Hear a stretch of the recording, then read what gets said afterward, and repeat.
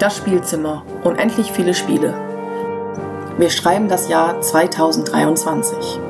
Dies sind die Abenteuer der Brettspielgarde, die mit seiner zwei Miepel und hundstarken Besatzung unterwegs ist, um neue Brettspiele und Prototypen auf Messen anzugucken und euch zu zeigen. Viele Kilometer von zu Hause entfernt besucht die Brettspielgarde heute die BerlinCon 2023, bei der noch nie zuvor jemand gewesen ist.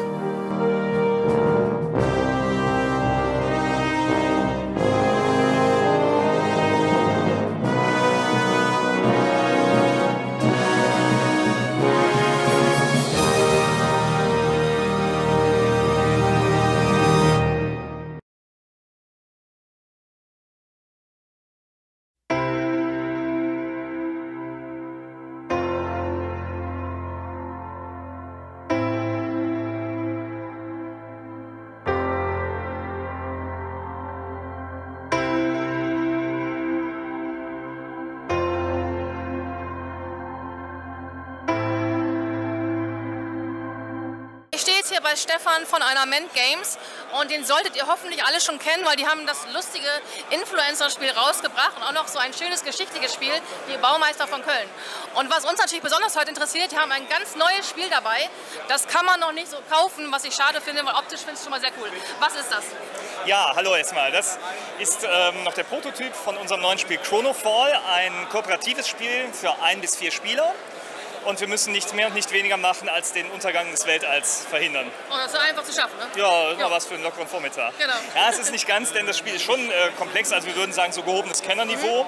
Und ähm, ja, mit, äh, wenn man zu zweit spielt oder solo ist eine Stunde drin, aber mit mehreren Spielern sind für die ersten Partien gut zwei Stunden wird es schon dauern. Also das Ganze ist kooperativ dann, Ja. ne? Wie läuft das ab oder wie darf ich mir das vorstellen? Ja, also wir haben, und das ist glaube ich ein ziemlicher, ziemliches Charakteristikum dieses Spiels, wir haben ein großes Koordinatensystem von 20 mal 20 Feldern, äh, Hexagons. Und da entstehen immer mehr Rifts, das sind diese schwarzen Holzscheiben. Ähm, die, man könnte sagen, es sind schwarze Löcher, könnte hab man sagen. ne? gedacht, ja. ja, genau. Ne? Und äh, da, immer wo die auftauchen, da passiert gar nichts mehr, da kommt man nicht mehr durch. Denn wir haben ein äh, System von diesen blauen Hyperraumtunneln und da fliegen unsere Raumschiffe durch. Es gibt einerseits Frachter, die bewegen sich so mehr oder weniger ähm, halbautomatisch und die bringen Ressourcen von den außenliegenden Exoplaneten zur Erde. Das sind die kleinen. Dinger mit den Würfeln drin, Das ne? sind diese kleinen hier, genau, ja, Ja, richtig. Das sind unsere Frachter. gemacht, ja. Mhm. Jawohl, das sind jetzt noch Teile aus dem 3D-Drucker, das wird später Holz sein. Wir legen Ah, Wert okay. darauf, dass wir so wenig Plastik Ja. wie möglich haben, sonst wird alles Holz werden. Ne? Okay. Und wir selber bewegen uns mit den Sparks, das sind zum Beispiel diese hier. Also Spark ist eine Abkürzung für Space Research Cruiser, ja, also ein Raumerforschungskreuzer. Ja.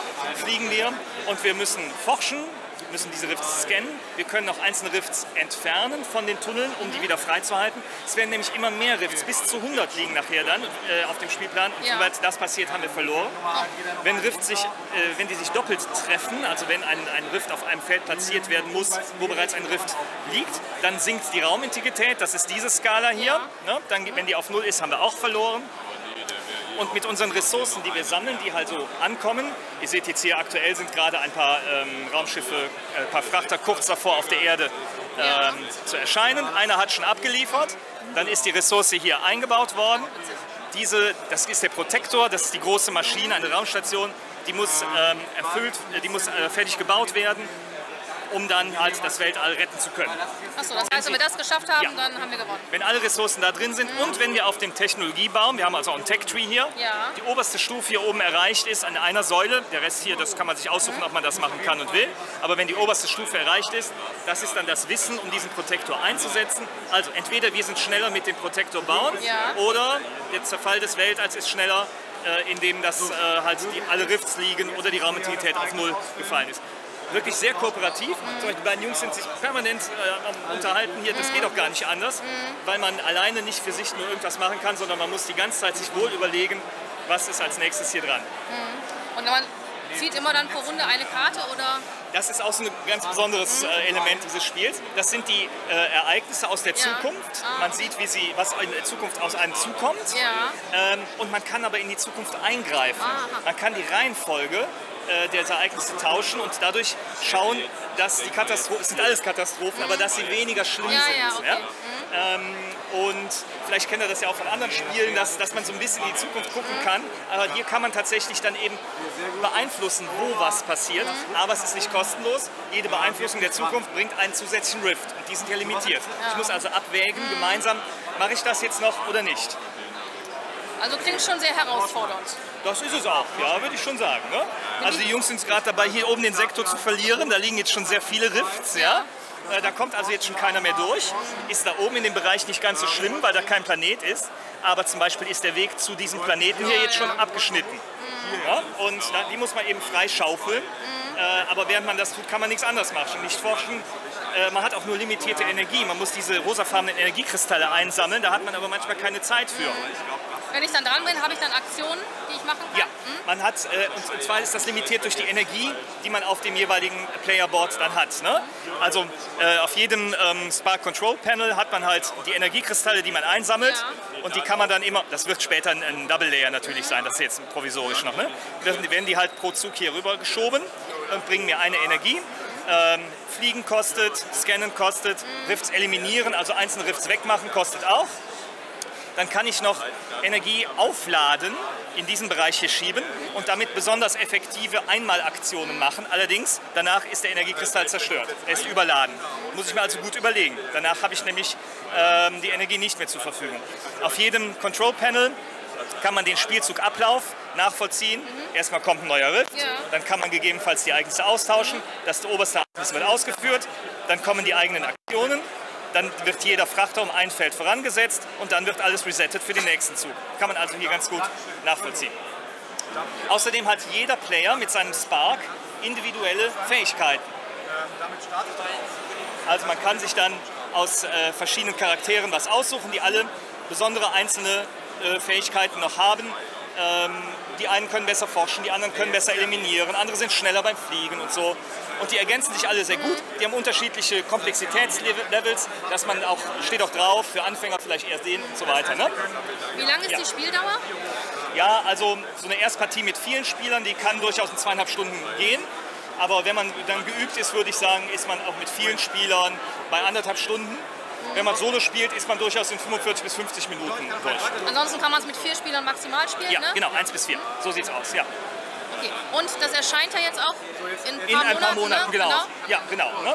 Äh, da wir das alles so im Nebenberuf machen, geht es nicht so schnell mit der Entwicklung. Das Spiel ist jetzt soweit äh, entwickelt, aber jetzt geht es an den Grafiksatz.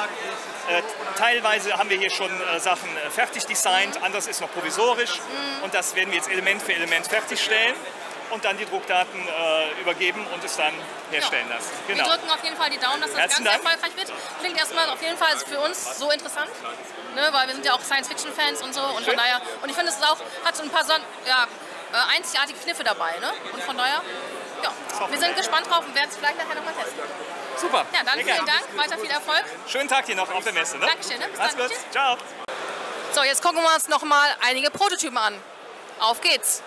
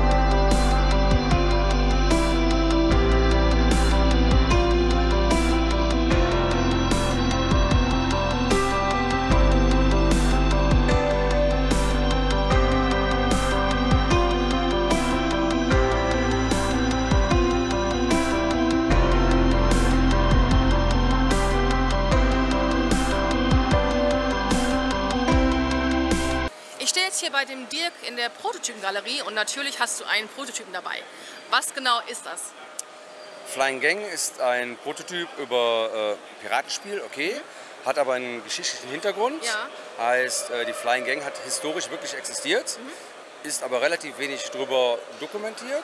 Also nicht so bekannt wie die Black Pearl quasi, ne? ja, genau, Ja, mhm. weil die Flying Gang war ein Zusammenschluss der bekanntesten Piraten in der Karibik. Ah, okay. Bekannteste Mitglied ist äh, Blackbeard gewesen. Man weiß halt, dass es ein Pirat war, aber dass das die rechte Hand der Flying Gang gewesen ist, weiß man zum Beispiel schon weniger.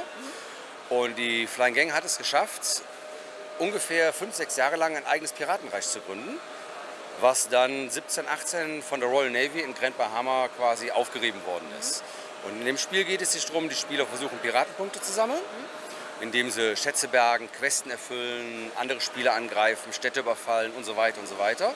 Und der Spieler, der am Ende die meisten Piratenpunkte hat, geht am Ende des Spieles dann in einen Zweikampf gegen den Kapitän der Flying Gang. Ah, okay. Jetzt weiß der Spieler natürlich, oder die Spieler wissen nicht, wie stark die Flying Gang ist oder der Kapitän, weil das wird über politische Karten gesteuert. Das heißt, es werden acht Karten im Laufe des Spiels gezogen. Da sind Effekte und Elemente drin, die historisch wirklich passiert sind, wie ein bestimmter Vulkanausbruch. Der hat dafür Lebensmittelknappheit gesorgt, dadurch werden die Preise höher. Ja. Das aber auch zeitgleich einen Effekt hat, dass die Flying Gang stärker wird. Die Verstärkung, die ich mir als Spieler kaufe, kriegt die Flying Gang über diese Karten dann. Und dadurch ist das nicht vorhersehbar, wie stark der am Ende wirklich ist. Das heißt, man muss im Spiel versuchen, erstmal gegen die anderen anzukommen, dann sich quasi äh, bestmöglich zu pimpen, damit man nachher den Endkampf quasi äh, gewinnen kann. Richtig, also der Spieler versucht über Handel und über Piraterie sein, äh, sein, seine Barschaft zu vermehren, sein besseres Schiff zu kaufen, extra Ausrüstung, eine bessere Panzerung, Segel, Hängematten und so weiter, was man halt so kennt. Und ähm, spielt das Ganze semi-kooperativ, weil ich kann auch die anderen Spieler angreifen. Und wenn ich es dann geschafft habe, das beste Schiff mit den meisten Piratenpunkten, dann ist es so, dass ich dann halt nachher am Ende gegen die Flying Gang genau. In, in, in einen Zweikampf eintrete. Und dann wird sich halt entscheiden, schaffe ich es, die Führung der Flying Gang zu übernehmen oder nicht. Ist es denn einfach zu schaffen? Ja, zurzeit ist es äh, 60-40 für die 60 Flying Gang. Ah, okay. Soll ja nicht zu leicht Ja, sein. natürlich. Und äh, wie darf ich mir den Spielzug vorstellen? Der Spielzug ist in Aktionspunkte unterteilt. Das heißt, wenn ich eine weiße Linie überquere, verbrauche Ja. ich einen Aktionspunkt, ziehe eine sogenannte Seebewegungskarte. Das kann ein anderes Schiff sein, neutrales, was ich dann sehe. Das kann, ja, zum Beispiel, ich zeige mal eine. Das wäre jetzt eins, zum Beispiel ein Wrack. Dann nehme ich dann eine Truhe, da wird dann gewürfelt und dann kann ich halt sehen, wie viel Münzen ich finde. Oder ein anderes Beispiel, Und wir benutzen dann quasi diese Schiffe dann, um uns Genau, zu bewegen, ne? genau. Das ist dann zum Beispiel ein neutrales Schiff und dann kann ich mich als Spieler entscheiden, möchte ich das angreifen oder nicht. Der Text darunter ist rein Flavortext, was historisches zu dem Schiff selber, was ich gefunden habe. Und ähm, dadurch sammle ich halt dann A, Rohstoffe, Geld, Piratenpunkte, Ruhm und so weiter. Und wenn ich es dann geschafft habe, nach als Spieler mit den meisten Punkten dazustehen, gehe ich halt in den finalen Kampf rein. Das Spiel sieht ja wirklich jetzt schon äh, fertig aus quasi. Was wird sich denn noch verändern? Also optisch wird sich jetzt nicht mehr viel verändern. Der Prototyp ist eigentlich in Druck. Ich habe es halt nur noch nicht zeitlich geschafft, das Ah, fertig okay. zu machen. Ja. Aber das soll jetzt oder wird in den nächsten vier bis sechs Wochen passieren. Mein Ziel ist es, oder ich plane nächstes Jahr im März bzw. April damit auf Crowdfunding zu gehen. Kickstarter oder Ja, Gamefound Gamefound wahrscheinlich eher, aber ich bin mir da noch nicht ganz sicher. Äh, Dieses Jahr will ich rein auf Promotion gehen. Also ich habe jetzt schon relativ viele Veranstaltungen hinter mir und ähm, mal sehen, wo der Weg mich dann hinführt. Das heißt, man kann das auch, also hier kann man es ja auch schon Probe spielen, aber für die Leute, die dich jetzt hier nicht antreffen, ähm, kann man es wahrscheinlich auch das Spiel dann in Essen wahrscheinlich spielen. Ja, ne? da bin ich auch, das ist richtig. Okay. Und ähm, weißt du schon, wie das preislich ähm, sein wird, das Spiel? Ja, also ich stelle mir vor, eine Basisversion, die wird so um die 60, 70 Euro rumliegen und dann die Deluxe-Version, was dann hier jetzt aufgebaut ist, da liegen wir so, so sag mal 80 bis 100 Euro dazwischen. Und der Unterschied sind dann wahrscheinlich die Münzen und die Marker Richtig, und noch irgendwas? richtig. Also ähm, die Playerboards, das eigene Schiff, die sind dann Double Laid, das heißt, Ah, diese okay. Holzspielsteine können nicht verrutschen. Ähm, bei der Basisversion werden diese Holz-Meeples werden, werden dann einfach Papp-Tokens, Mhm. die Münzen sind Papp-Tokens, äh, aber ansonsten echte Münzen, beziehungsweise jetzt hier die ganzen Holzsachen, die da drin sind, das ist dann halt die, die Deluxe-Variante. Ja. Sieht auf jeden Fall nach einem coolen Fluch der Karibik-Flair aus, das Ganze. Dankeschön. ja, dann weiterhin äh, viel Erfolg mit dem Spiel und ich denke mal, wir bleiben auf jeden Fall in Kontakt. Ja, warum nicht? Dankeschön, ne? Danke auch. Unendliche Weiten. Wir schreiben das Jahr 2023 und ich stehe jetzt hier bei dem Martin bei einem neuen Spiel, was er dabei hat. Ähm, ja, sag doch mal was zum Spiel. Worum geht's da? Ja, wir sind Kommandanten einer, einer Raumschiffflotte. Wir haben hier verschiedene Raumschiffe ähm, und Ziel des Spieles ist es, unsere Raumschiffe entsprechend äh, zu landen. Also Spielmechanismus ist Schnipsen. Ich nehme mir ein Raumschiff, ähm, versuche es hier zu landen, schnipse, ist mir jetzt sogar geglückt. Ähm, genau, es gibt hier Begleitraumschiffe, die dürfen überall landen. Es gibt Mutterschiffe von Mond, Mars und Erde, die müssen entsprechend auf ihren Planeten Ah, landen. ja, okay, Schaffen sie verstehe. das nicht, Ja, werden ja. sie zerstört. Und das Ganze ist gegeneinander? Genau, das ist ein Zwei-Personen-Spiel Mhm. ähm, mit variablen Startbedingungen, variablen Punkten und verschiedenen Aktionen hier, ähm, ja, die, die ein bisschen Variabilität ins Mhm. Spiel bringen. Ähm, man spielt über mehrere Runden. Eine Runde geht meistens sehr schnell, ähm, Best of Five, Best of Ten, je nachdem. Wie ist ein Spielablauf? Das heißt, ich nehme einfach eine Scheibe oder. Genau, also am Anfang wird festgelegt, mit wie vielen Raumschiffen man spielt. Ja. Ähm, und jedes Mal, wenn ich ähm, am Zug bin, nehme ich eine, eine Scheibe, ein Raumschiff, spiele eben. In dem Fall jetzt kommt es aus dem Spiel, weil es hier in der gefährlichen Ja. Zone liegen blieb. Dann kommt der Spiel Gegenspieler dran, Mitspieler dran, so lange bis wir alle Raumschiffe gespielt haben oder eine Endbedingung eintritt. Okay. Und dann hat wer gewonnen? Am Ende wird gewertet hier nach diesen Punkten hier. Ähm, und wer in dieser Runde die meisten Punkte hat, gewinnt die Runde. Und dann spielt man eben zum Beispiel Best of Five. Also wenn man drei Runden gewonnen hat, hat man das ganze Spiel gewonnen. Wie ist da die weitere Planung bei dem Spiel? Kommt das irgendwie auf Crowdfunding oder wie machst du das? Also das ist jetzt mal das erste Mal, dass es an der Öffentlichkeit ist. Ah, Ähm, okay, Von ja. daher hole ich mal Feedback. Wenn Ja. es grundsätzlich Interesse gibt, dann werde ich versuchen, es auf Crowdfunding Ah, ja. zu bringen. Ja.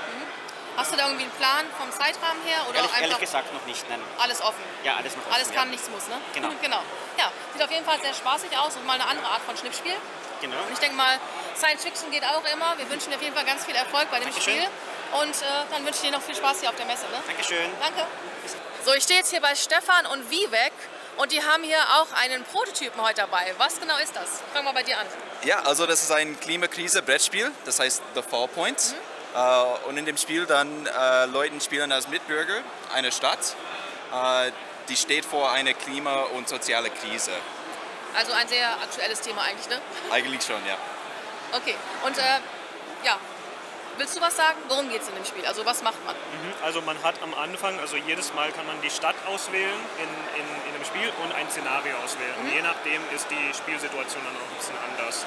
Das heißt, in dem Fall haben wir jetzt äh, Mobilität und Luft. Das heißt, wenn die Stadt wächst, wä- wachsen dann auch die Anforderungen an Mobilität und gleichzeitig muss man sicherstellen, dass man genug äh, saubere Luft hat in der Stadt. Und das ist dieser Spagat zwischen ähm, ja, also Wachstum und was man dann tatsächlich für die, für die Leute bereitstellen muss. Und in dem Fall muss jeder dann seine eigenen, seine eigenen Fähigkeiten, seine eigenen Ressourcen nutzen, um Einfluss zu generieren in der Stadt und um äh, Expertise zu generieren, damit man dann auch größere Lösungen dann später implementieren kann mit der Privatwirtschaft und dann mit der Regierung. Das Ganze ist schon gegeneinander dann quasi, oder? Nee, das sind Ach, kooperative ist Spiele. dann gut kooperativ, Genau. okay. Hab's gedacht, jeder versucht jetzt auf seine Weise irgendwie was zu machen oder so. Genau. Und äh, am Anfang spielt jeder ein bisschen so alleine und dann, äh, wenn das Spiel so weiter weiterläuft, dann kommen alle so Ah, langsam ja, mal ja, zusammen, ja, ja, ja. weil die bauen dann diese, diese Expertise, diese, diesen Einfluss dann auf und dann geht es weiter, wenn alle dann äh, alles auf den Tisch legen und gucken, okay, wie kann man das jetzt äh, bis, zum, bis zur Ziellinie. Okay, mach mal bei dir weiter. Wie sieht ein Spielzug aus? Also, äh, man fängt an. Äh, die verschiedenen Charaktere, die haben eigentlich vier äh, Common Actions. Und die haben die auch alle spielen können. Fähigkeiten, ne? Genau, Genau. und jeder hat Fähigkeiten äh, und damit kann man dann verschiedene Community Responses kaufen oder implementieren in deine eigene Einflusssphäre.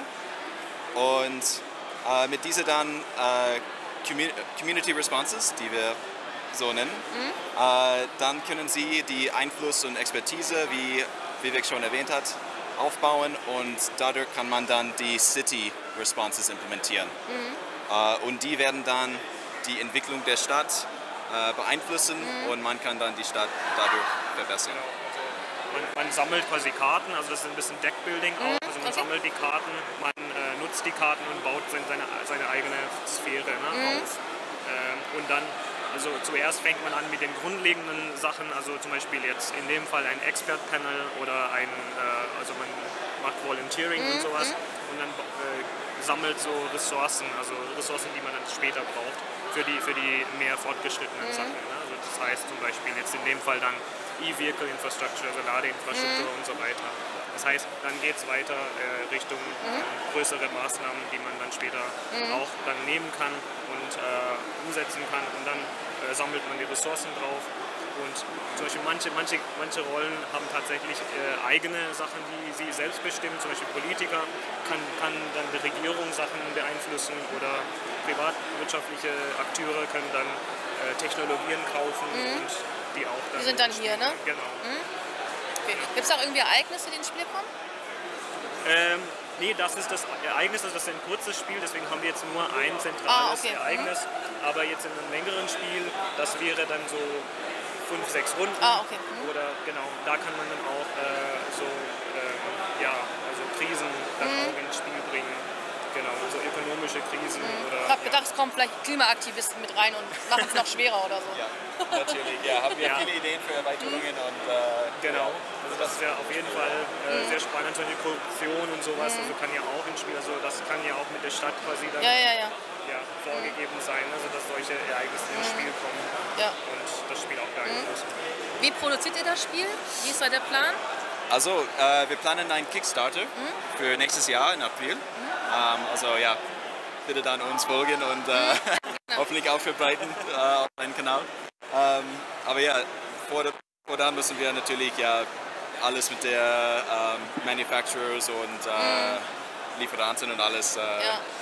in Ordnung bringen. Aber ja, hoffentlich kriegen wir das hin und dann äh, ja, nächstes Jahr werden wir ein spannendes Kampagne haben in, Kick, in Was wird noch anders beim richtigen Spiel dann? Beim?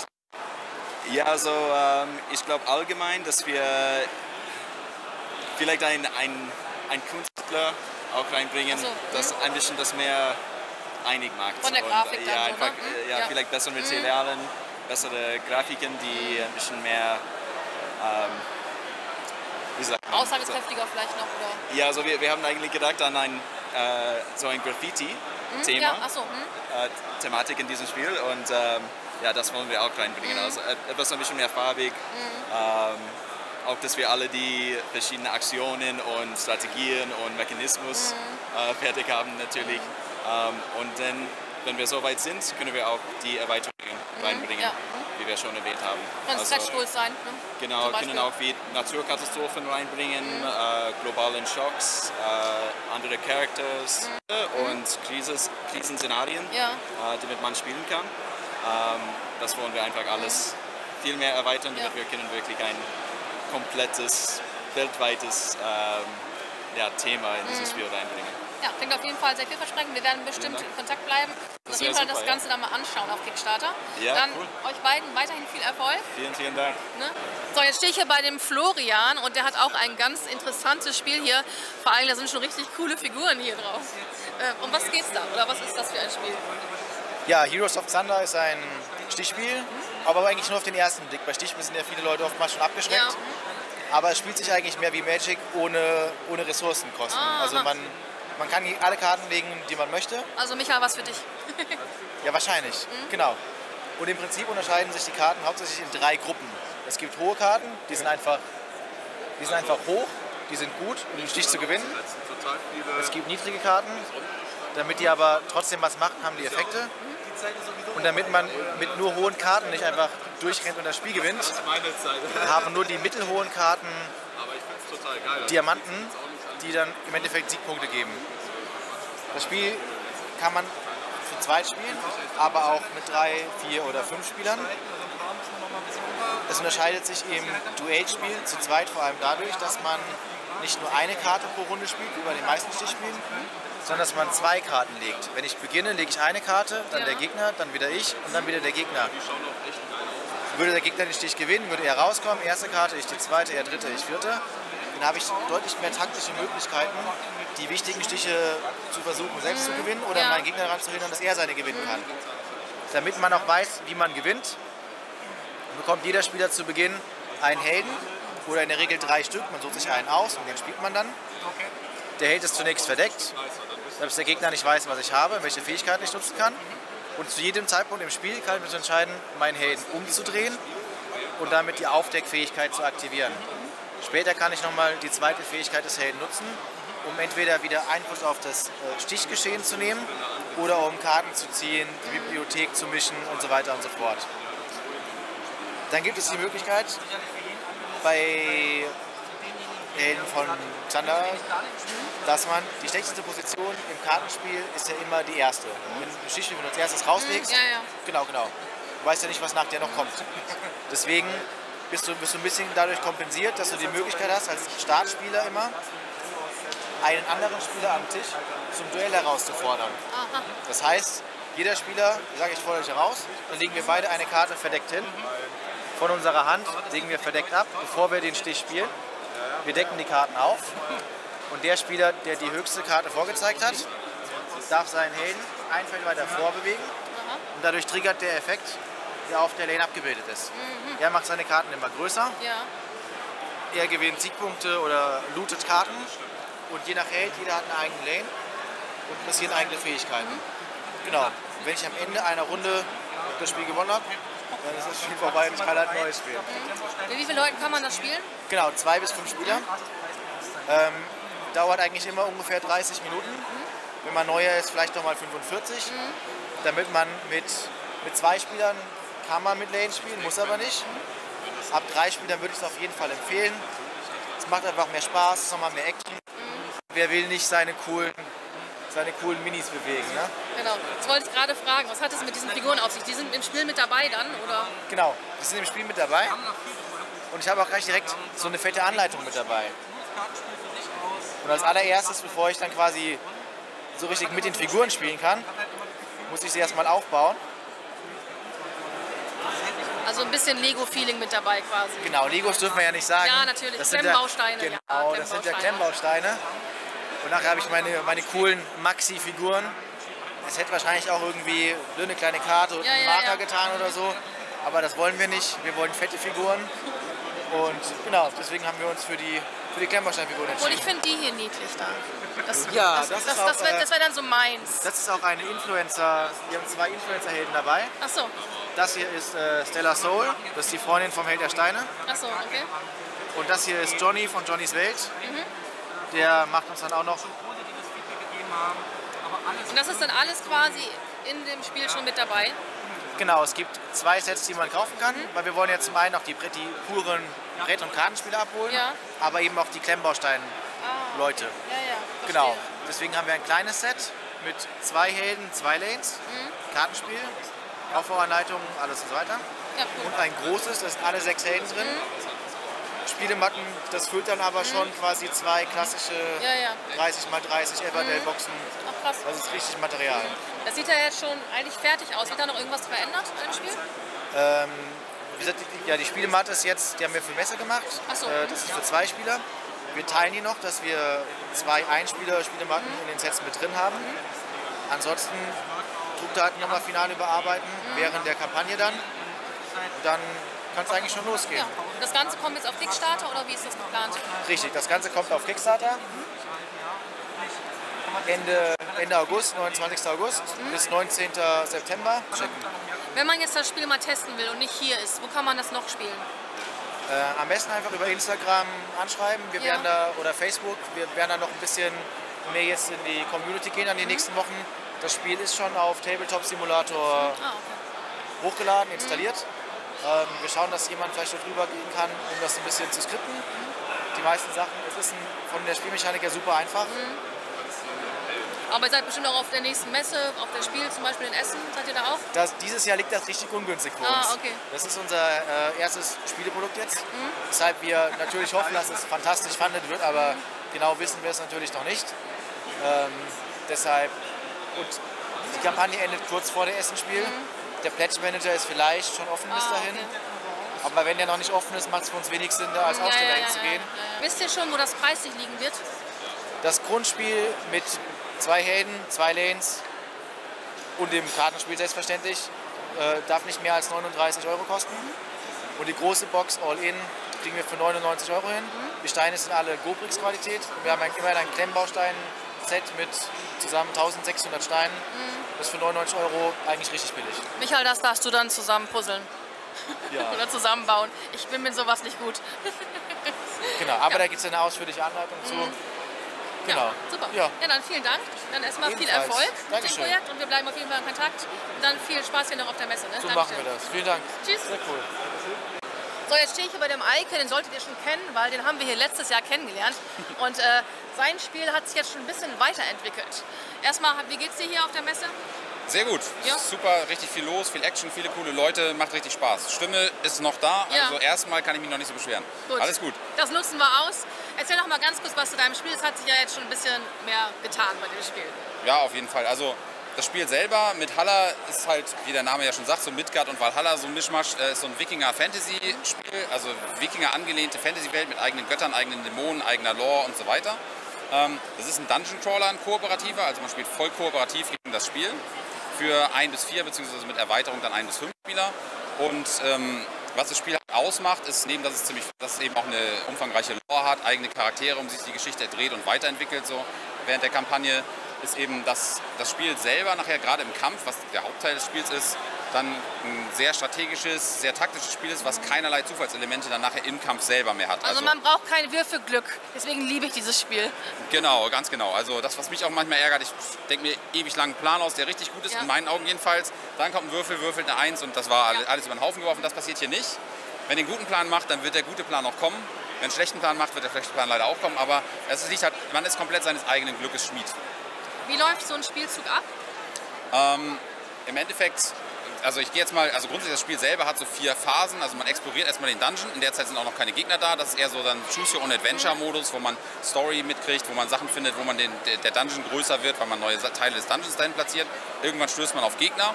Dann gibt es so eine Vorbereitungsphase, das ist die zweite Phase, in der gebe ich dann Ressourcen aus und baue Fallen auf. Ähm, kann mich Das dann sind die Fallen übrigens. Genau, da kann man die Fallen dann sehen. Die haben dann teilweise auch so Upgrades da drunter liegen. Das habe ich jetzt hier noch nicht.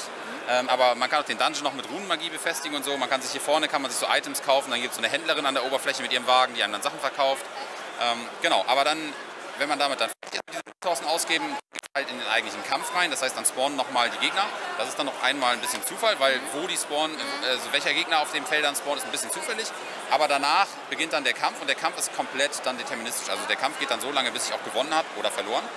Und in der Kampfphase selber ist es dann eben so, ähm, ich habe dann immer erst die Gegner, die dran sind, die machen ihre Aktionen. Gegner können dann verschiedene Ziele haben. Es gibt welche, die, also die wollen immer angreifen, gucken, dann können sie den Spieler angreifen. Aber manche wollen lieber nur Fallen kaputt hauen, andere wollen eh nur so ein Tor, was ich beschützen muss, äh, kaputt hauen, weil so ein bisschen die Story ist halt, dass die, die Dämonen in diesen Dungeons, versie diese Dungeons versiegelt worden sind, damit die Dämonen da drin bleiben. Das sieht man dann hier oben, da gibt es so einen Würfel mit so einer Lebensenergie auch.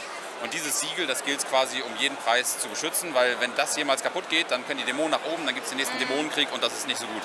Also das wollen wir um jeden Preis verhindern. Äh, Und diese Dämonen kommen halt immer nach und nach dann weiter auch in Richtung des Siegels, wenn sie nichts angreifen können. Und spätestens wenn sie da sind, werden sie das halt kaputt hauen. Und wir aktivieren quasi immer erstmal alle Gegner, dann aktivieren wir alle Fallen. Das heißt, die Fallen greifen dann die Gegner, die in der Reichweite sind, an. Und dann kommen wir halt als Helden dran äh, und können eben unsere Aktionen machen und müssen uns dann eben auch abstimmen, wer macht was, um jetzt einen Gegner bezwingen zu können. Wie kriegen wir genug Schaden hin, dass der auch wirklich besiegt wird. Und das ist Und ja besonders cool auch, ne? Weil man das nämlich mit diesem Board hier macht und dass man immer sich quasi ein, ja, erzähl du mal, eine Mhm. Ja, Aktion nee. aussucht, ne? Genau, genau. Also man hat quasi immer so zwei Reihen. Das hier ist jetzt ein relativ einfacher Charakter, aber hier sieht man das eigentlich auch ganz gut. Man hat quasi hier immer eine obere Reihe, in der ich eine Aktion mache und dann eine untere. Und der Witz dabei ist eben, dass ich diesen Stein, den ich da habe, auch immer bewegen muss. Das heißt, ich muss immer ein bisschen, äh, das heißt, ich kann ihn nicht auf dem gleichen Feld belassen. Und das wiederum führt dann eben dazu, wenn ich jetzt eine neue Aktion mache, dass ich, äh, wenn ich jetzt in dieser Runde zum Beispiel zwei gelaufen bin, kann ich nächste Runde keine zwei mehr laufen, weil ich dann dieser, weil ich den ja versetzen muss in meiner nächsten Runde. Muss also eine andere Aktion machen. Ich muss auch immer erst oben, dann unten machen. Und so bin ich auch immer so ein bisschen limitiert. Ich kann mich eigentlich meistens erst bewegen und dann kämpfen. Es gibt auch Helden, also einen Helden gibt es, der kann auch unten sich bewegen, der kann sozusagen angreifen, dann schnell weglaufen, Ja, ja. was ihm wiederum hilft, dann Schaden auszuweichen zum Beispiel. Und so muss ich eben gucken, wie gehe ich selber vor. Ich muss mich aber auch gemeinschaftlich abstimmen mit anderen. Es gibt zum Beispiel dann Tora, die Anführerin, die ist jetzt leider hier auf dem Kopf gedreht, aber ich kann die mal vielleicht kurz umdrehen. Da kann man zum Beispiel auch so Sachen sehen, die kann dann andere kommandieren und kann denen dann sagen, ey, beweg dich mal, Junge. Und dann kann ich eben anderen Helden bewegen. So kann ich dann eben anderen helfen, die vielleicht gerade keine Bewegung haben oder wenig Bewegung haben, dass sie ein bisschen schneller sind. Oder kann die auch angreifen lassen. Und so habe ich eben diese Synergien zwischen den Helden eben Man auch. kann ja die Helden auch verbessern, die sind ja auch noch freie Slots, ne? Genau, sieht man hier so, dass dieses Ding ist da draufgelegt. Das ist ein Skill, den man gelevelt hat. Man kann dann noch weitere Skills leveln, dann kommt irgendwann Level 2 Skill und dann irgendwann sogar Level 3, die dann noch drüber kommen. So verändert sich eben auch das Tableau und man hat auch noch Items, die dann beeinflussen, was man machen kann an seinem Zug. Das sind so Sonderaktionen, die man dann hat mit den Items. Die benutzt man einmal, dann sind die für den Kampf erstmal weg. Und es gibt hier oben auch noch so Ultimate-Fähigkeiten, die sind dann besonders starke Fähigkeiten, die man noch extra zu allem, was man eben auch eh schon gemacht hat, noch zusätzlich machen kann. Aber auch die blockiere ich dann eben und dann sind die weg. Äh, Und ich kriege auch die erst nach dem Kampf wieder. Also nach- muss ich da auch eben gucken, was ich damit tun. Und nach der Kampfphase? Äh, Nach der Kampfphase gibt es dann eben diese Belohnungsphase. Also ich muss alle Gegner bezwungen haben, dann ist die Kampfphase vorbei oder ich habe verloren. Aber äh, gehen wir mal davon aus, wir haben die alle bezwungen, dann geht es in eine Belohnungsphase. Da kann man dann eventuell Belohnungen für bestimmte Side- Sidequests kriegen, die man eventuell hatte, irgendwie, die man bekommen hat. Man kriegt dann, äh, schaltet wieder ein paar Skills frei oder neue Sachen auf seinem Tableau, dass man zum Beispiel die Ultimates wieder kriegt oder so, oder die Items kriegt man eben auch wieder zur Verfügung. Und man bekommt dann eben, man levelt dann eben auch, da kriegt man eben die eben erwähnten Skills dann. Äh, Leveln funktioniert eben so, dass man so einen Pool an Skills, also es gibt dann pro Skill-Level 1, 2 und 3 gibt es immer 15 Stück und man zieht aber nur Spielerzahl plus 2 und dann würden wir eben die aufdecken und würden gemeinschaftlich dann diskutieren, wer levelt jetzt welchen Skill von uns sozusagen, wer kriegt den oder wer kriegt den. Jeder bekommt halt dann immer einen Skill dazu, sodass man da auch wieder kooperativ entscheidet, wer kriegt welchen Skill quasi aus dem ganzen aus, aus dem Set jetzt raus. Und dann geht ja die Story weiter. Ne? Das heißt, wir spielen ja zusammen kooperativ ein Abenteuer durch, müssen was Spezielles schaffen. Genau, dann geht es quasi, also das dann geht's quasi in die nächste Exploration erstmal wieder und es, man hat dann sozusagen also diese vier Phasen mit inklusive Belohnung und danach geht es wieder mit der Exploration weiter, mit der Phase 1. Und grundsätzlich ist es eben so, diese Exploration, äh, beziehungsweise diese Phasen, die macht man in Summe dann dreimal durch. Also so ein, ein, so ein Zyklus, das wiederholt sich dreimal und nach dem dritten Kampf ist das Ganze eigentlich fertig. Und dann ähm, gibt es einen Epilog, eine Story, was dann eigentlich passiert ist. Hängt eventuell auch davon ab, wie man so ein Szenario geschafft hat, was dann rauskommt. Und dann geht's eben, schaltet man vielleicht noch neue Sachen Ja. frei, die man dann als Belohnung kriegt. Und dann geht es eben in der Story, in der Hauptstory auch weiter ins nächste Szenario sozusagen. Und dann spielt man das nächste Szenario dann weiter. Genau. Und ich sage euch, wir konnten das Spiel ja schon testen. Äh, Es macht wirklich süchtig. Und was wir besonders cool finden ist, in den ersten zwei Kapiteln lernt man ja, wie das Spiel funktioniert. Genau, also ich habe so ein Tutorials gebaut, damit man möglichst auch Schritt für Schritt rangeführt wird. Also wenn man das Spiel spielen will, man liest nicht erst ein 20-seitiges Regelwerk oder wie viel das jetzt ungefähr hat, sondern man macht einfach nur das Kampagnenbuch auf und eigentlich spielt man quasi direkt los. Man liest die Story vor und dann macht man einfach Schritt für Schritt genau das, was da passiert und ist in 20 Minuten oder sowas eigentlich am Losspielen dann. Ja. Ähm, Das Spiel ist ja quasi jetzt fertig. Wird noch irgendwas verändert werden? Ähm, also die Komponentenqualität wird sich eben teilweise etwas verändern. Also ähm, das teil, manche Sachen sind momentan noch ein bisschen dünner, die werden halt Cardboard werden. Und es gibt noch so ein paar Sachen, die ich momentan am gucken bin, wie ich die vielleicht noch ein bisschen hochwertiger machen kann. Das will ich jetzt momentan noch nicht zu sehr spoilern, weil. A, muss ich gucken, ob es funktioniert.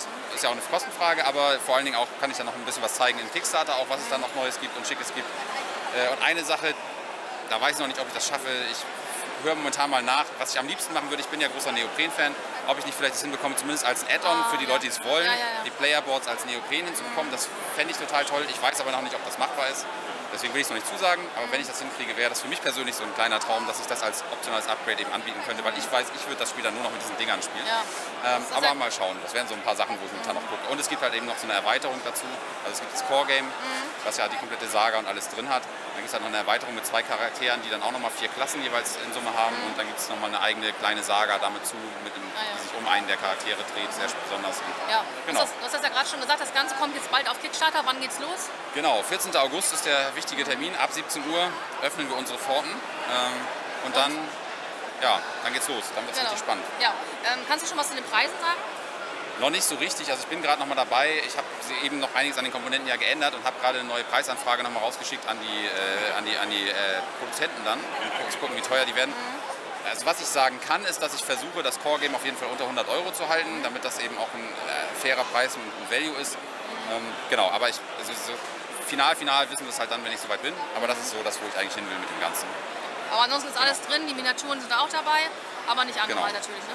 Genau, angemalt sind die nicht, ähm, aber genau, die ganzen Minis, es gibt ja noch diverse Fallen-Minis, die man jetzt hier nicht sieht, da sind noch viel, viel mehr Miniaturen natürlich drin für die ganzen Fallen ähm, und ganz, ganz viele Standys eben noch für die ganzen Gegner und so. Ähm, da gibt es ja auch noch viel, viel mehr als hier jetzt zu sehen sind. Ja. Das sind ja über 40 Gegner, die im ganzen Spiel dann drin sind. Genau, da ist noch einiges mehr drin. Und auch noch so ein paar versteckte Sachen, die ich momentan noch nicht genau erzählen will, aber es, man packt noch so ein paar Sachen aus während der Kampagne. Es bleibt spannend. Ja, also, euch das Spiel interessiert, dann auf jeden Fall 14. August merken. Genau, Ne? dann geht's Und los. Dann geht's los, dann wünschen wir dir viel Erfolg Ja, danke. und dann noch viel Spaß hier auf der Messe. Dankeschön. Jo, danke, euch auch. So, ich stehe jetzt hier bei dem Timon. Wir haben gerade ein bisschen gewitzelt wegen König der Löwen, deswegen habe ich jetzt die ganze Zeit Hakuna Matata im Kopf. genau. Also gute Stimmung ist hier. Ähm, ja, ist auf jeden Fall hier auch ein neues Spiel dabei, ne? Ganz genau. Genau, was ist das? Ja, das Spiel nennt sich Synchronite Foundation. Es basiert auf einem Roman, den ich geschrieben hatte in meiner Jugend. Und es ist im Grunde genommen so, dass wir hier eine Welt haben mit drei großen Nationen, die sich in ihrer Ideologie völlig untereinander unterscheiden. Teikes ist industrialisiert, Rie dagegen eher traditionell landwirtschaftlich. Aber du ist ganz besonders, wir haben die meisten Synchronite bekommen. Das sind diese Kristalle. Synchronit ist eigentlich vergleichbar mit dem Erdöl in unserer Welt. Das heißt, ein Energieträger, der extrem wertvoll ist. Und wir als die Synchronite Foundation sind Spieler, die über diesen, über diesen Nationen drüber stehen. Das heißt, wir versuchen quasi unseren Einfluss zu mehren, indem wir Einfluss nehmen auf diese Welt. Und das tun wir, indem wir vier Phasen in diesem Spiel spielen. Zum einen die Konfliktphase, in der wir unsere Privatarmee in Form von Pokerchips quasi einsetzen, um Gebiete zu claimen. Natürlich können andere Spieler ebenfalls Gebiete claimen, indem sie uns beispielsweise überbieten und uns verdrängen. Das ist quasi die erste Gameplay-Phase. Dann wird geerntet. Alle Ressourcen landen in den Beständen der Spieler. Und dann können diese Ressourcen ausgegeben und investiert werden. Beispielsweise können sie am Markt verkauft werden. Der Markt ist variabel, mal sind die Preise höher, mal sind die Preise niedriger. Und dann kann ich beispielsweise Beamte oder die Helden dieser Welt bestechen und auf meine Seite ziehen, um dann ihre Gefekte einzusetzen, die mir beispielsweise zusätzliche Armeen geben oder dergleichen. In der dritten Phase gibt es ein Parlament. Im Parlament werden nämlich Gesetze verabschiedet. Die Gesetze können meiner Strategie hilfreich sein oder halt eben auch schädlich. Abhängig davon möchte ich vielleicht versuchen, die Gesetze durchzubringen. Wichtig, es ist kein demokratisches Parlament. Ich kaufe mir so viel Stimmen, wie ich kann und nutze so viel, wie ich kann. Ja. Diese Gesetze haben allesamt, ich decke es einmal auf, hier so Werte, zum Beispiel hier plus 4 für die grüne Krise. Die Krisen sind fünf Stück in der Zahl. Haben wir hier einmal Revolution, das heißt, ich bringe die Demokratie in die Bedrohung und versuche quasi sie zu overthrow. Triage ist quasi eine Seuche bzw. eine Hungersnot. Krieg brauche ich glaube ich nicht erklären. Monopol ist ein ökonomischer Sieg und Tyrannei ist ein Story-Sieg. Es ist so, dass wir diese Krisen durch unsere Handlungen triggern, weil jede Karte hat Einfluss auf das Spielgeschehen. Jede Karte zählt diese Dinge hoch. Und wenn Ja. irgendwo 10 erreicht ist, wird es ausgelöst und dann kann ich in der Lage, die Siegbedingungen in meiner Hand einzusetzen. Das heißt, wenn ich beispielsweise die Revolution-Krise trigger, dann kann ich versuchen, mich zum Kanzler wählen zu lassen und Diktator zu werden. Und dann halt entsprechend diese Welt quasi zu übernehmen und an mich zu reißen. Und das Besondere ist halt, dass je nachdem, wie das Spiel gespielt wird, unterschiedliche variable Siege quasi immer auch nacheinander triggern. Und auf der anderen Seite gibt es keine Player Elimination, sondern wenn wir uns gegenseitig schaden, nehmen wir uns gegenseitig Siegbedingungen weg. Das heißt, wir limitieren die Handlungsoptionen der anderen. Wann ist das Spiel zu Ende? Wer hat gewonnen? Also ist es so, dass das Spiel dann zu Ende ist, wenn einer es schafft, eine Siegbedingung zuerst zu erfüllen. Ähm, gespielt wird ca. 30 Minuten pro Spieler, wenn man natürlich auch einmal das Regelwerk verstanden hat. Das Ziel war aber bei diesem Spiel, Komplexität ohne kompliziert zu sein zu erreichen. Das heißt, man spielt die vier Phasen, arbeitet die Punkte nacheinander ab und in der Regel, jeder, der einmal alle vier Phasen gespielt hat, ist ready to go. Und dann hat einer quasi die Siegbedingung erfüllt und der hat gewonnen. Genau. Das heißt, wenn ich beispielsweise sage, ich habe jetzt hier die Revolution ausgelöst, habe dann entsprechend ähm, im Parlament mich zweimal als Kanzler wählen lassen, dann sage ich so, ich habe jetzt zwei Kanzlerwahltoken, die sind hier als Wahlsieg betitelt. Und wenn ich zwei Wahlsiege habe, kann ich sagen, so, ich habe die Kanzlerschaft in der Hand, peng, ich habe jetzt gewonnen. Ah, und dann sofort, zack, zu Sofort. Ende. Ah ja. Mhm. Es ist aber halt auch so, dass jede Siegbedingung in einer anderen Krise, äh, nicht Krise, sondern Phase getriggert werden kann. In der Konfliktphase kann ich natürlich mit Krieg gewinnen. Dadurch, dass die Konfliktphase zuerst kommt, als ist der Krieg ist der schnellste Sieg. Macht ja auch Sinn, weil mit Gewalt kann ich im Zweifel auch einen Ja, ja. demokratischen Prozess aufhalten. Auf der anderen Seite, wenn ich versuche, mit Geld zu gewinnen, weil ich sage, ich mache den ökonomischen Sieg und kaufe mich einfach ein in den sogenannten Geldadel, dann mache ich das natürlich in der Offertenphase. Auf der anderen Seite, wenn ich im Parlament zum Diktator gewählt werden möchte, mache ich das natürlich im Parlament und so weiter. Also man muss schon den richtigen Zeitpunkt auch abwarten und so, ne? Es geht wirklich, geht wirklich bisschen darum, sich zu überlegen, welchen Weg gehe ich und welche Spielsituation stellt sich mir da und wie nutze Ja. ich die maximal aus. überlegen. Also es ist auf jeden Fall auch äh, ein hoher Wiederspielreiz, weil es ja auch immer irgendwie anders Auf ist. jeden ne? Fall. Jede Runde ist völlig einzigartig. Das liegt auch daran, weil jede Runde völlig einzigartige Würdenträger mit ins Spiel kommen. Das sind die Charaktere aus dem Buch. Insgesamt gibt es hier 16 an der Zahl und jeder von ihnen bildet auch nochmal eine eigene Spielstrategie und einen eigenen Weg zu gewinnen beispielsweise ab. Und es ist halt auch so, dass immer nur einer von denen pro Runde versteigert wird. Es gibt aber auch noch alternative Regelwerke, wo beispielsweise jeder von vornherein mit einem anfängt. Oder wo man vielleicht sagt, wir beginnen von vornherein mit Krieg. Also auch hier durch verschiedene Szenarien Wiederspielwert ohne Ende. So, und dann haben wir ja vorhin schon ein bisschen geplaudert. Das Pariah-Deck ist ja auch äh, ja, irgendwie cool gemacht, ne? Ja, ist es so, dass wenn ich meinem Gegenspieler schade und ihm Siegbedingungen abnehme, ich habe ja nur fünf an der Zahl, irgendwann habe ich ja keine mehr und dann stellt man sich die Frage, was passiert jetzt? Player Elimination? Auf keinen Fall. Wir wollen, dass alle weiter dabei sind. Dann darf ich, wenn ich keine Siegbedingung mehr in der Hand habe, eine Sondersiegbedingung aus dem Pariah-Deck ziehen. Das Pariah-Deck sieht ja schon recht düster aus. Das sind quasi die, Option, die letzten Optionen, die mir übrig bleiben, wenn ich wirklich verzweifelt bin. Wenn ich halt wirklich sage, okay, ich brenne die ganze Welt jetzt nieder, um zu gewinnen. Oder ich stehle einem anderen Spieler einfach all seine Siegbedingungen. Oder äh, ich versuche einfach alle Spieler auf nur Siegbedingungen zu bringen, dann habe ich gewonnen. Also wirklich die ganz bösartigen Sachen, die man quasi tut, wenn man keine Legitimität hat und sich halt wirklich in die Unterwelt begibt, das haben wir quasi im Horror Addict mit drin. Ja, und vor allen Dingen ist auch ein bisschen der Überraschungsmoment da. Man weiß ja gar nicht, was kommt jetzt, was hat der andere jetzt gezogen. ne? Definitiv. Es ist vor allem auch eine Comeback-Möglichkeit. Wenn jemand, der fünf Siegbedingungen verliert, der hat ja in der Regel vorher richtig einen in die Fresse gekriegt. Und sich dann rächen zu dürfen, glaube ich, das ist ein gutes Gefühl. Ja. also ein fieses Spiel. Dieses Spiel strotzt vor Grausamkeit, äh, Unethik und Brutalität, weil es ist im Grunde genommen so ein Stück weit eine sehr, sehr radikalisierte Abbildung unserer realen Welt. Was man vielleicht beispielsweise sagen kann, es gibt auch sogenannte Feldkarten, da würde ich gerne noch eine zeigen. Eine der Feldkarten tagesaktuell ist die sogenannte Synconite Pipeline. Denn in Avadur, wo es viel Synconite gibt, aber im Taikes, wo die Industrialisierung quasi das Synconite verbraucht, ist es natürlich wichtig, dass ich da drankomme. Aber wenn ich in der Konfliktphase die Synconite Pipeline besetze, habe ich die Möglichkeit zu entscheiden, mache ich den Hahn auf, mache ich den Hahn zu. Kennen wir Ja, ja, ja. von einem gewissen Autokraten aus dem Ja, ersten. genau. ja. Leider nicht spaßig, aber im Spiel ist es gut umgesetzt, ja. Das ist wichtig. Ja, das, es ging halt einfach darum, mit dem Spiel auch auf diese ganzen Dinge und Abhängigkeiten hinzuweisen, ne? mal hinzuweisen. ja. Ich denke, das gelingt euch auf jeden Fall gut. Dankeschön. Und das Ganze ähm, wird auf Kickstarter laufen oder wie habt ihr das Genau, geplant? in Q1 wollen wir, also Q1 24 wollen wir auf Kickstarter gehen, um dann halt entsprechend äh, die Finanzierung dafür reinzukriegen. Und was wir jetzt hier auf der äh, Messe machen, ist halt quasi den Prototyp mal an den Leuten testen. Ah ja. Und wie ist bisher so das äh, ja, Feedback? Das Feedback ist wirklich wunderbar, was auch einfach daran liegt, dass, glaube ich, die ganze Welt, die ja auch auf dem Buch aufgebaut ist, Ja, ja. Durch ihre Tiefgründigkeit überzeugt und auf der anderen Seite aber auch die Vielfalt an Möglichkeiten, die aber gleichzeitig nicht überfordern, glaube ich, etwas ist, was auch sehr vielen Leuten Spaß macht. Ähm, das Ganze sieht ja eigentlich schon fast fertig aus. Wird da noch irgendwas anders werden? Es kann durchaus passieren, dass wir beispielsweise die äh, Ressourcenboards, die man hier sieht, dass wir die gegebenenfalls ersetzen durch ähm, Geldscheine und dann vielleicht auch noch äh, entsprechende Token für die jeweiligen Vielleicht auch Ressourcen. Double Layer oder so? Das kann durchaus auch sein. Ähm, es wird aber auf jeden Fall auch äh, eine Standard- und eine Deluxe Edition geben, weil wir einerseits natürlich jedem die Möglichkeit geben wollen, das Spiel zu erwerben. Aber jeder, der sagt, ich möchte vielleicht auch hochwertige Pokerchips oder dergleichen haben, natürlich nicht hier diese Prototyp-Pokerchips, sondern was Vernünftiges, dem geben wir natürlich auch die Möglichkeit. Habt ihr euch schon Preise überlegt? Das äh, ist noch eine Sache der Kalkulation. Ja. Finde ich auf jeden Fall sehr interessant und macht auch optisch echt was her. Ne? Das freut uns sehr. Alle Infos zu dem Spiel findet ihr auf syncanite.de. Steht hier, glaube ich, auch im Hintergrund. Ansonsten habt ihr es sicherlich auch nochmal in der Videobeschreibung. Wir würden uns total freuen, wenn ihr dabei seid, auch beim Kickstarter. Und Auf jeden Fall vormerken. danke. Ja. So, und das Ganze ist ja angelehnt an ein Buch da hast du mir gerade eröffnet, das hast du selber geschrieben, ne? Genau, das Buch hatte ich in meiner Jugend geschrieben. 2013 hatte ich damit begonnen. Und es hat sich dann über die Jahre entwickelt. Und tatsächlich haben wir dann auch 2015 die erste fertige Version gehabt. Die ging dann auch mal ein bisschen rum. Aber spannend wurde es, als wir das Buch durch Augmented Reality erweitert haben. Weil wir halt gesagt haben, wir visualisieren das Ding und nutzen diese innovativen Digitaltechnologien, um die Welt halt wirklich real werden zu lassen. Wir haben ja 3D-Objekte auf das Buch drauf projiziert. Jetzt beispielsweise so ein Prototypen, da ist die Weltkarte, aber da stecken so Flaggen darin. Die Flaggen, die wählen, kann ich anklicken, kann ich mich in die ganze Hintergrundgeschichte einlesen. Habe ich quasi das Lexikon, das hinten an dem Buch normalerweise als anderen dran ist, quasi an die Punkte platziert, wo es relevant ist. Damit haben wir unter anderem auch den Sonderpreis Innovation der Leipziger Buchmesse 2019 gewonnen, wurden als Kultur- und Kreativpiloten des Bundes nominiert und 2022, weil ich dieses ganze Thema Kombination von analog und digital vorantreibe, wobei ich aber auch immer sage, die Mehrwerte von beiden müssen definitiv herausgestellt werden, weil das Analoge hat ja auch was sehr Schönes. Dafür wurden wir unter anderem auch als Top 10 Startup vom Partnerschaft Accelerator des Bundes, wie heißt das, Außenverein des deutschen Buchhandels. Das jetzt mal dreimal hintereinander, ne? Sagen. Ja, Nein, nein, versuch's genau. nicht. Lieber nicht, ja. lieber nicht. Das Buch kann man ganz normal im Buchhandel auch kaufen, Das oder? Buch ist tatsächlich aktuell nicht mehr am Markt, Ah, weil es okay. überarbeitet wird und Ja. angepasst wird auf die Änderungen, die halt Ah, auch ja. noch mit dem Brettspiel dabei sind. Es kam auch noch viel Content hinzu. Aber prinzipiell, das Ganze hat halt wirklich eine Vorgeschichte von zehn Jahren, die in epischer Breite übrigens auch auf der Webseite zu lesen ist, wen es interessiert.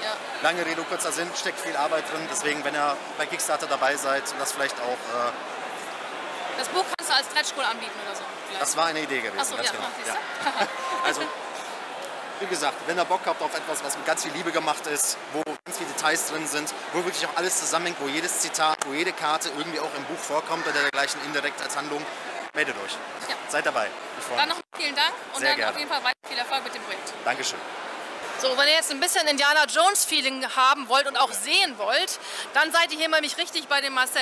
Hi Marcel, wie geht's dir hier erstmal? Hi, äh, super. Wir sind Ja. zwei Tage hier.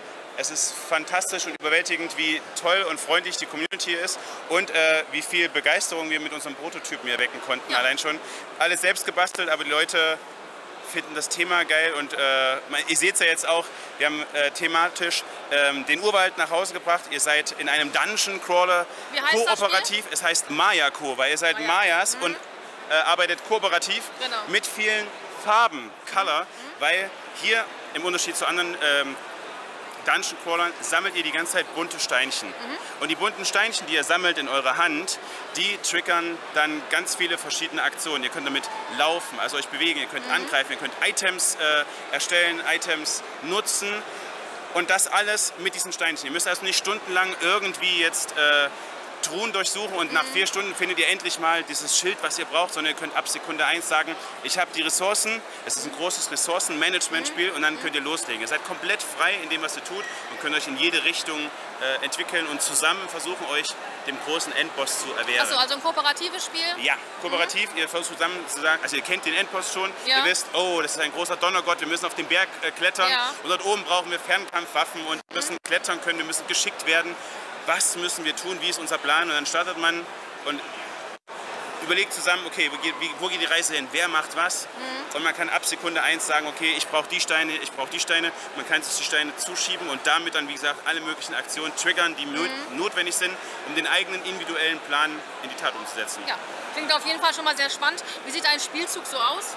Äh, ein Spielzug äh, so aus, ähm, es starten erst alle Mayas, ja. Man kann durcheinander spielen, äh, es gibt keinen Startreihenspieler, sondern jemand, der sagt, ey, ich habe eine geile Idee, ich will das und das machen, der fängt an, dann macht der nächste und man kann dann seinen eigenen Zug ganz am Ende beenden. Und Zug sieht so aus, man darf zwei Dinge machen, man darf zum Beispiel einfach seine Figur hier bewegen, nach links, rechts und so eine Bewegung, ich kann es ganz kurz mal zeigen in einer Sekunde. Ihr habt hier diese Steinchen, und wenn ihr sagt, okay, das ist meine Figur, die hat hier so ein, eine Richtungsbasis, wenn die Richtung weiß gehen soll, dann bezahlt ihr einen weißen Stein aus der Hand und dann läuft die Figur Richtung weiß. Und wenn ihr einen schwarzen bezahlt, läuft sie Richtung schwarz. Ja, ja. Und wenn ihr sagt, das waren jetzt zwei Züge, da kann ich ja gar nichts mehr machen, dann kannst du auch sagen, okay, alles zurück. Ich werde einfach gleich grau mischen aus meiner Hand und mit grau cool.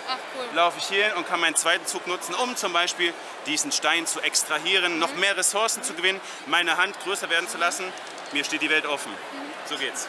Ja, deine Begeisterung ist wirklich ansteckend. Ich hätte auch Lust, das zu spielen. Ja, es ist auch, alle Leute, die hier waren, haben das wirklich gefeiert. Die Thematik ist von vielen als richtig angenehm empfunden worden und ähm, die Mechanik ist halt so geil abgeschlossen und so intuitiv auch und äh, es macht halt Spaß, weil du kannst richtig schön planen, es ist nicht glücksabhängig. Ähm, es ist ein, doch ein Expertenspiel oder gehobenes Kennerniveau. Ja. Das heißt, man muss schon Bock auf Denken haben und Bock auf äh, Leiden, weil es ist nicht einfach, aber es ist sehr, sehr sucht, äh, süchtig machend, weil immer wieder neue Kampagnen, neue Charaktere, Ja. äh, ja, neue Untergründe, äh, Un- Untergründe. Man es auch Fallen, so wie das bei Indiana Jones immer ist? So man kann, man ja. kann selber Fallen bauen, um die Ah. Kreaturen reinzulocken. Ja. Ähm, man muss Berge erklimmen, das heißt, das hier ist alles stackbar. Man kann hier wunderschön einfach nach oben bauen. und dann muss man, also auch Ja, cool. 3D-mäßig Ja, kann man ja, so richtig ja. schön Kopfkino sich Ja, ja. vorstellen, Okay, wie ich cool. den Berg erklimme. Das ist der Plan und jetzt äh, hoffen wir, dass wir das schnell ähm, produziert bekommen, damit das wirklich jeder daheim spielen kann und so, Mhm. Ja. so ein Abenteuer-Feeling äh, daheim hat. Wie wollt ihr das machen? Wollt ihr selber produzieren oder sucht ihr einen Verlag? Ähm, das wissen wir noch nicht. Äh, Verlag oder wahrscheinlich Kickstarter, wir haben keine Ahnung. Wir sind eigentlich hergekommen, um, um äh, Antworten zu kriegen ja, ja, okay. ähm, auf die Fragen, Jetzt man hat er das noch mehr Fragen, ne? aber auch Antworten. Wir Okay, haben viele, viele tolle Leute kennengelernt hier, die sagen, ey, wir haben das schon gemacht, das sieht total schön aus, Mhm. äh, lass uns das äh, in die Hand nehmen und äh, deswegen sind wir guter Hoffnung, dass das zeitnah wirklich auch äh, spruchreif wird und wir Mhm. dann das wirklich äh, in Produktion kriegen. Ja. Und was sind das für Figuren? Das sind, Ähm, das sind 3D ausgedruckte Figuren, die ähm, hier auf dem Board zu bewegen sind. Und das sind nochmal quasi unsere, unsere großen äh, Vorzeigefiguren, um die Thematik so ein bisschen Ja, beim ja, Vorbeigehen ja. gleich, äh, damit die ins Auge sticht. ja, cool. Ich finde die Spinne ja sehr cool.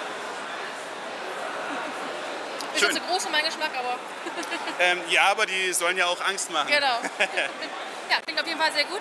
Dann äh, wünschen wir euch auf jeden Fall viel Erfolg. Wir hören oder sehen uns, Genau. denke ich mal. Hoffe ich mal. Viel Erfolg weiterhin. Ne? Dankeschön. So, jetzt stehe ich hier bei dem Thomas und ihr habt hier auch ein interessantes Spiel mitgebracht. Was ist Ja, haben das? wir. Ja, das ist Knee Deep in Hexes. Knee Deep in Hexes ist ein One-on-One Skirmisher-Game, Strategiespiel. Ähm, das bedeutet, zwei Fraktionen streiten sich um einen Wüstenplaneten, streiten sich um Ressourcen, bauen Panzerarmeen auf und zerstören das Hauptquartier des Gegners. Möglichkeit, um das Spiel zu gewinnen oder schießen so viele Einheiten wie möglich des Gegners auf den Scrapyard, also quasi auf den Schrotthaufen.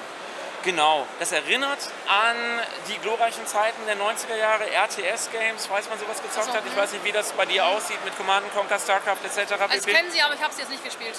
Okay, ist aber auch gar keine Grundvoraussetzung für das Game. Das Game erklärt sich eigentlich fast schon von selbst. Total schlankes Game Design, erstmal Einheiten, drei Stück, drei Gebäude, das ist, das ist erstmal symmetrisch. Die Asymmetrie kommt dazu, indem man eine der beiden Fraktionen wählt. Die Fraktionen bestehen aus Commander, General, ähm, Tech und Trickster. Das sind quasi die vier Companions. Aus denen sucht man sich zwei raus. Ähm, die kommen dann mit einzigartigen Karten, die man zusammenmischt. Dann hat man ein eigenes Deck. Da kommen noch ein paar neutrale Kampf- und Action-Cards dazu. Und fertig ist das Deck. Und das ist quasi der entscheidende Moment. Und dann geht die Action halt los auf dem Spielfeld. Es ist aber nicht so, dass man einfach nur rushen kann, sondern der Twist des Spiels ist, ja, man sagt am Ende des Zuges an, da will ich hin, das will ich angreifen.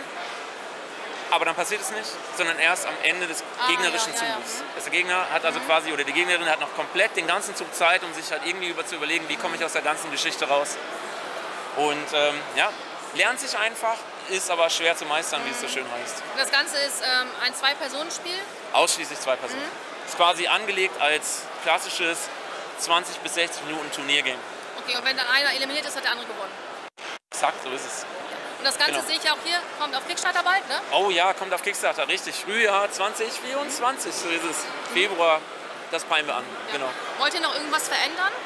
Das Ähm, ja, das Brettdesign wird noch ein bisschen angepasst. Es gibt noch immer Design, äh, Designanpassungen in den Karten, aber ansonsten sind wir schon ziemlich auf einem guten Weg und ähm, entwickeln gerade eben zusätzliche Fraktionen, zusätzliche Einheiten etc. Also den ganzen Kram. Und Ja. vom Spielablauf her, wie, ist wie sieht so ein Spielzug aus?